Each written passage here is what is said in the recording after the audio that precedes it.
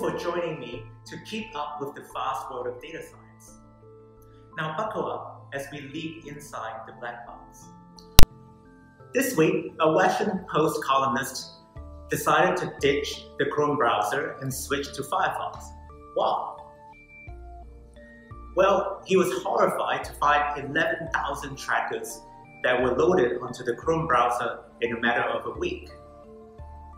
Now, Chrome is made by Google, and Google makes billions of dollars from advertisers by promising them deep profiling of users and close tracking of every reaction to every ad.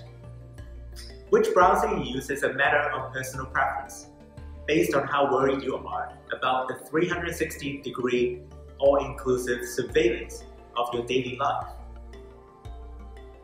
Everyone should be familiar with the deep reach of the surveillance business. Big tech companies such as Google and Facebook are much more inquisitive than you realize. Google knows about your habits through its famous search engine. And if you use Gmail, Google is reading your receipts and transaction emails. Google also owns the Chrome browser, the Chrome OS, and the Android software that runs on many of our cell phones. Moreover, something called Google Analytics allows Google to find out what you're doing on non-Google websites. This software is free to install for most websites who are using it to track their users. What about Facebook?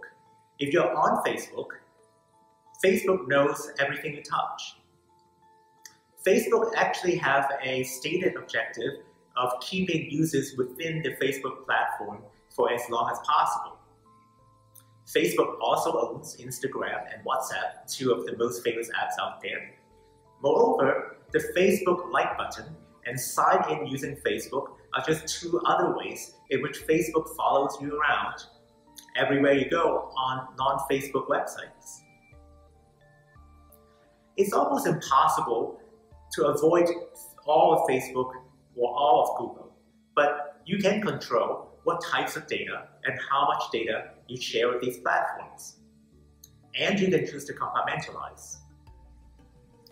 If you like this video, you can help us build our channel by sharing it and hitting that subscribe button. See you next time inside the black box. Principal Analytics Prep prepping you for the data revolution.